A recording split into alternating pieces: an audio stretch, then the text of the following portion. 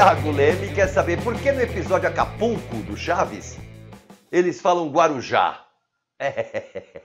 Essa é uma história engraçada. Quando chegou a novela Os Ricos Também Choram, é, foi a primeira novela dublada no Brasil, a primeira novela mexicana dublada no Brasil. Quando ela chegou para ser dublada, houve uma ordem lá de cima, e ordem lá de cima a gente dizia que era a ordem do homem, ordem do Silvio. Nem sempre era diretamente do Silvio Santos, mas a gente chamava de ordem do Silvio. Então teve uma ordem do Silvio para trocar todos os nomes e todas as coisas, nomes das pessoas e nomes dos lugares da novela, para não parecer que era México. Então, nomes de cidades, nomes de pessoas, tudo foi trocado. Tanto que a, a Cidade del México virou São Paulo.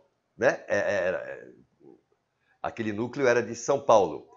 O núcleo que estava em Acapulco virou Guarujá. E o núcleo de Guadalajara virou Araraquara. É engraçado, mas é verdade. Foi assim que aconteceu.